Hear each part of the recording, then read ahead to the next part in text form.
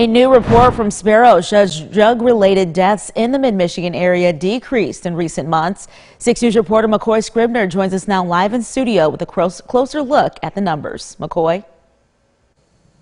Kira, Sparrow Forensic Pathology Services has released its second quarter report on drug-related deaths. The health provider acts as medical examiner for five different counties in the state. The report shows a decline in drug-related deaths from April 1st to June 30th of 2022 compared to the same period of last year, and it's a decrease of 33%. Of the total drug-related deaths, three quarters of them were a result of two or more substances. Other findings in the report include that opioid-related deaths are also on the decrease by 34%, and that cocaine-related deaths remained unchanged compared to this time last year. In terms of the numbers by county, in Ingham County, 28 drug-related deaths were reported, four in Eaton and Shiawassee counties, three in Ionia County, along with one in Isabella County. If you'd like to see the full report and other Sparrow Forensic Pathology Service findings, you can head over to our website on scene, or uh, at WLNS.com to the Scene on 6 section to find more.